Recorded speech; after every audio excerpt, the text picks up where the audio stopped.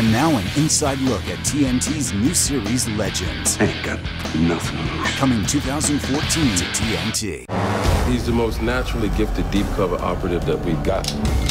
Martin Odum. I've tried running him for years. It doesn't work. You don't know where your life begins and your legend ends. Character immerses himself in his undercover identity. He is so intense about his profession.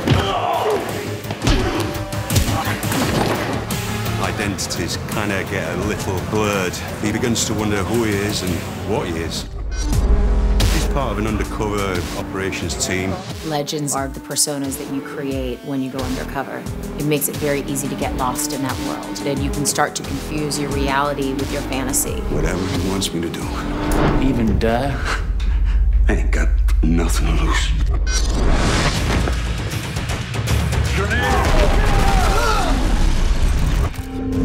Martin Odum's apparently his real identity. These personas are only shades away from who they are, so you're kind of dancing with a little bit of danger, and the stakes are really, really high. What's so damn funny? You think that I am afraid to die? You really think you're Martin Odum?